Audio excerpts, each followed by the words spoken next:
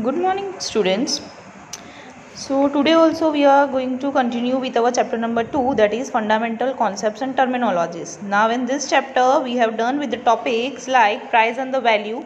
In that use value exchange value relationship between the use value exchange value goods and services and the in that the types of goods in that there are subpoints also types of goods. We already completed. That is tangible intangible goods non-economic economic goods durable goods perishable goods private goods public goods consumer goods and the producers goods. So these are the topics we have done in our further video. So today we are going to start with another topic that is wealth and welfare. So here you can see on your screen regarding the wealth and the welfare.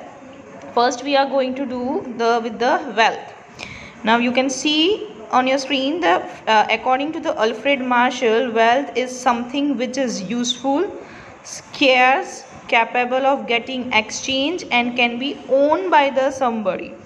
Now wealth in a simple term we can termed as a sampati, the very simple. So it is a sampati which is related to the that we are using that the uh, that the wealth is termed as a that which one which is useful that must be scarce not available in the plenty capable of getting exchange. We can able to do the exchange of it and can be owned by somebody. So these are the things that can be termed as the wealth.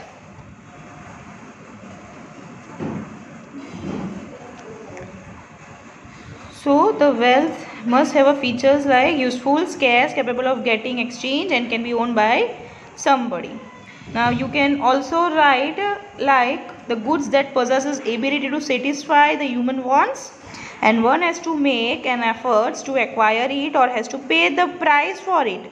Then also it can be termed as the wealth.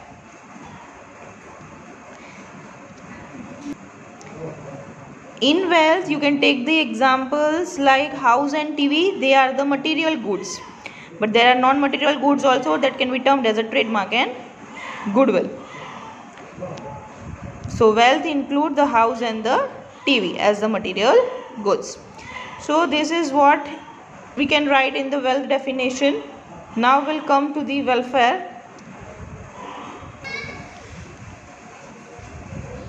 Now we all know that welfare is for the public welfare. We already uh, we all time heard this word that anything does for the welfare of the public for the society so that can be termed as the welfare.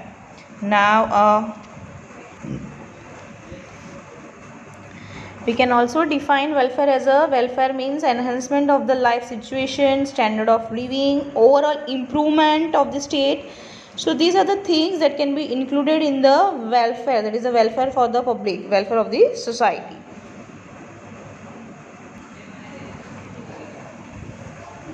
So further main definition and related points of the welfare will continue later on after the finishing of the characteristics of the wealth and the types of wealth. Now we'll come to the characteristics of the wealth.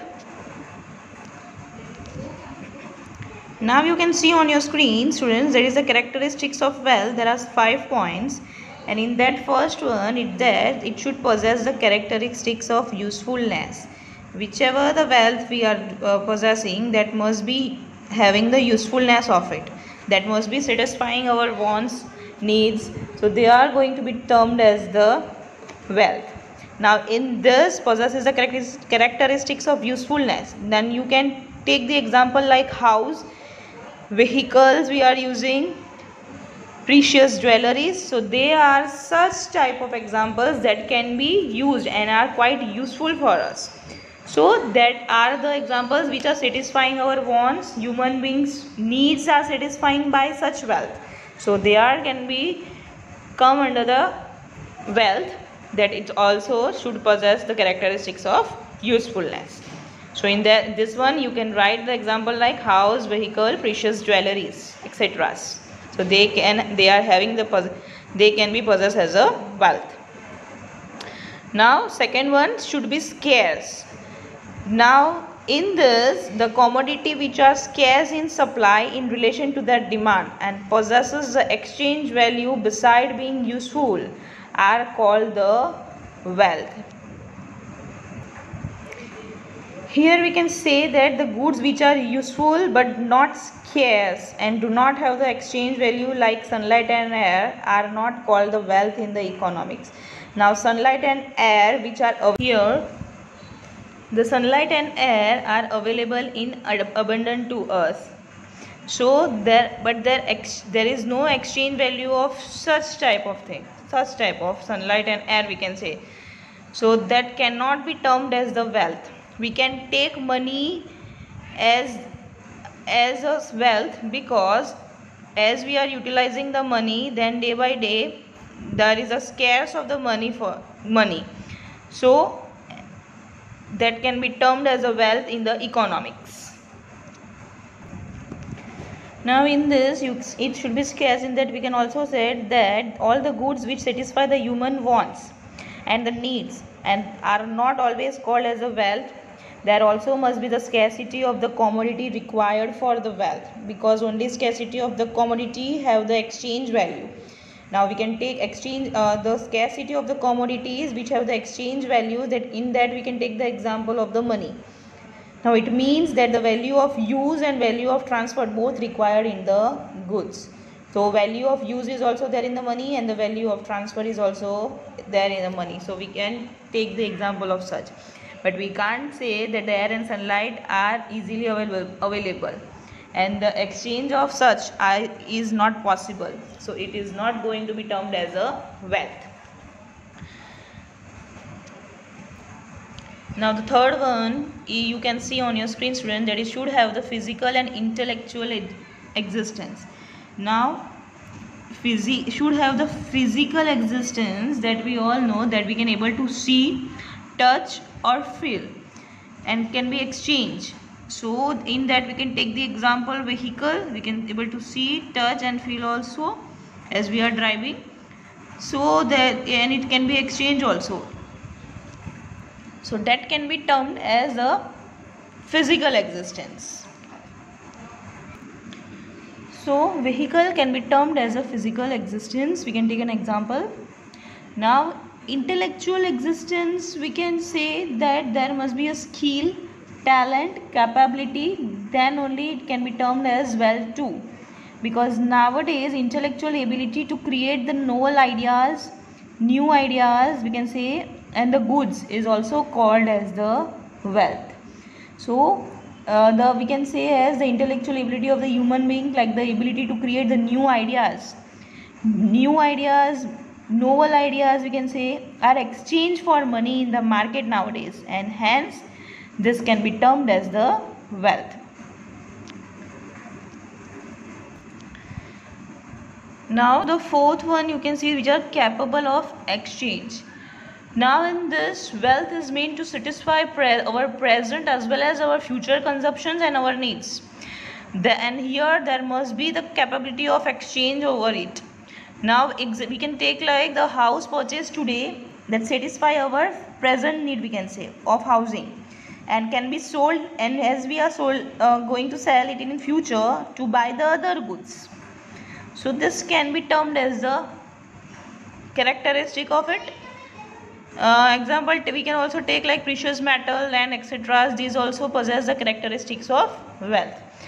So the, these are the certain examples of the capable of exchange we can able to write like house precious metals and land. That fulfilling that satisfaction uh, it gives the satisfaction in the by our future consumption as well as it can be sold out in the future and we can buy the other goods. So this also possess the characteristics of wealth. Now the last one we can see durability wealth also must possess the characteristics of durability. The durable goods can be used for the future exchange that also satisfying our future needs. Therefore then it can be termed as the wealth we can say. But it should be for the long period of time. We cannot take the milk as a wealth over here because it is not the durable goods. We can take the example like gold house jewelry. That are the land houses also we can land also we can take. Precious jewelry that we are using for a longer period of time. An exchange is possible in that. So they are termed as the durability and they also possess the characteristics of wealth. Now we can also take here that food grains which are produced by a farmer are not the wealth because they are not the durable one. They can be perish in a shorter period of time. So we cannot term it as a wealth. Now durability possess the characteristics of wealth and here we can write the examples gold house jewelry etc so these are the five characteristics that can be possessed in the wealth. Then only we can say it has a wealth. Uh, like vegetable vegetable we can't say as a wealth because it does not possess all the characteristics uh, maybe it is a useful we are doing the use it must be scarce it maybe have a physical existence. Capable of exchange is also possible but durability it is not durable it is perishable. So we can't take it as a wealth. So wealth can be termed only when this all the characteristics possessed in a particular commodities. Then only we can term it as a wealth. Now in the types of wealth students we are going to study two types of wealth that is the individual wealth and the social wealth national wealth and the international wealth. Now the first one that is the individual wealth. In that wealth under the ownership of an individual and meant for the private consumptions that is used by the particular person only because he brings a particular product we can say or particular item we can say by paying the money. Then that consumption is done by the individual itself. So it can be termed as the individual wealth. But as we uh, for example in this individual wealth we can say as a house. Now social wealth. Now this social wealth we can say as wealth under the ownership of the society and meant for the collective consumption. That the this wealth is utilized by all the people of the society we can say. Like the public garden we can say that it is utilized by the all. It is not such that is only going to be used by a particular individuals. It is used by all the people. So there is a collective consumption of a particular wealth we can say. Then we can take the example of garden. We can take the example of the dam. The dam water is utilized by all. And from that the electricity which is generated from the water that also is utilized by the all. So this is the social wealth we can say. So this is the difference between the individual wealth and the social wealth. In individual wealth it is consumed by the individual. That private consumption we can also say for example, we can take house and in the owner social wealth, it, the collective consumption is there. It can be used by all the people of the society like garden and dam electricity generate, generated from it. We can take the example of such also. Now the another one national wealth and the international wealth. Now in this also wealth belonging to a particular nation and possessed and treasures by a nation itself. Then we can say as the national wealth.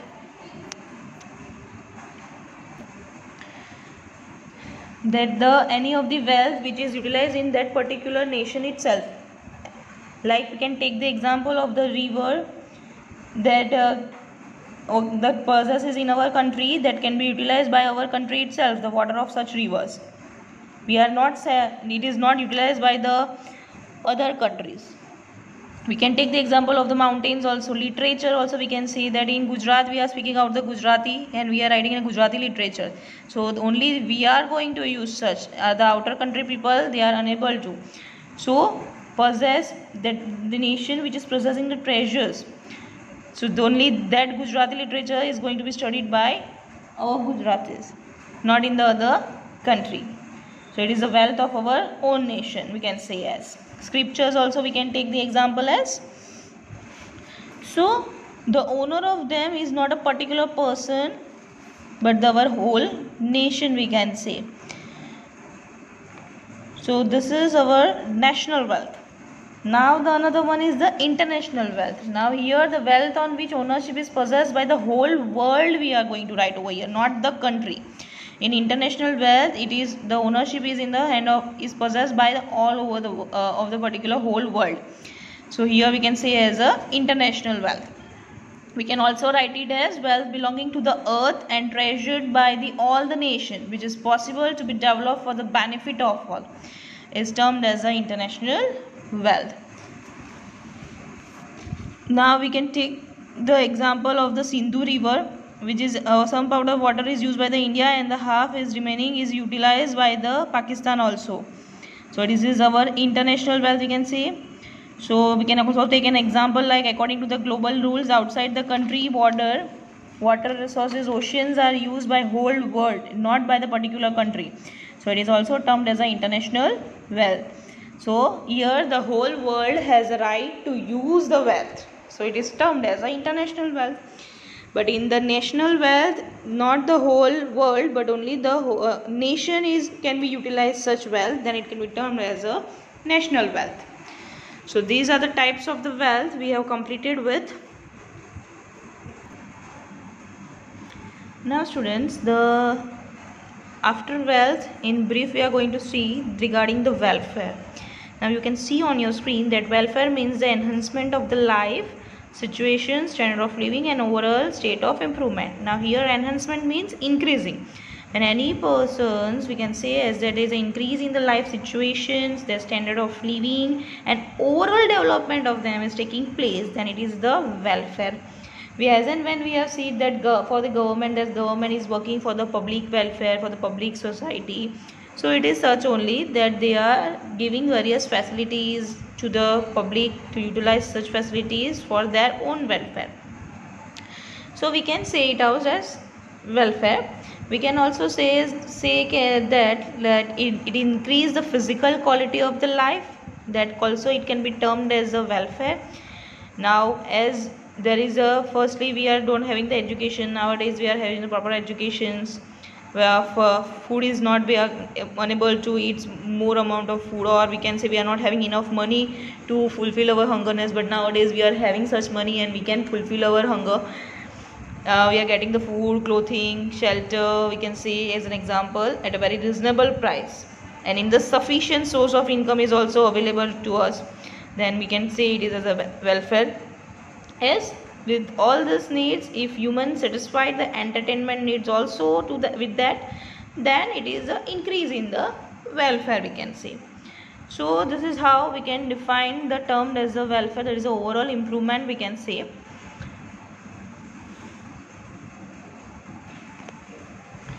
Now we can also term it as a qualitative changes that is can be termed as a welfare also. So here qualitative changes taking place. So after this you can see there are two types of welfare individual welfare and the collective welfare. Now individual welfare we can define as a when an individual seeks to make the efforts to improve her his standard of living and well-being. It becomes a subject of the individual welfare when any of the person is earning for herself or herself or himself. Then improving his or her only standard of living not for the whole society or for the other peoples. They are earning for them own. So that can be termed as an individual welfare. So they after earning the income they will improve their own standard of living and well-being not for the others. So they are making an effort for them for her or himself uh, herself or himself only. So such efforts that they are making then they are termed as the individual welfare. Their per capita income increases. And they can fulfill their desire and improving their standard of living. But when we come to the collective welfare then we can say it as a when the nation and the government seeks to improve the growth development etc then it becomes a subject matter of the collective welfare. Now when it comes to the government government is continuously making efforts for it for the growth and the development. But it's not but it is not for the individual welfare. It is for the whole society and all the people related. So government improving the growth and development for all the society for the welfare of the society we can say for the welfare of the people we can say then it can be termed as the collective or the social welfare. Now at the end we can also need to know that what is the relation between the wealth and the welfare. Now wealth we already know that it is a sampati we have already i already said to you students but now welfare is for the all the uh, it's for the public welfare. Now when it comes to the individual we, uh, wealth we present when we can say that wealth increases together welfare increases as more wealth means higher capacity to generate the monetary value. But here if it it is for the individual wealth then we can say that it can be improved as they are earning making efforts for the himself uh, herself himself we can say.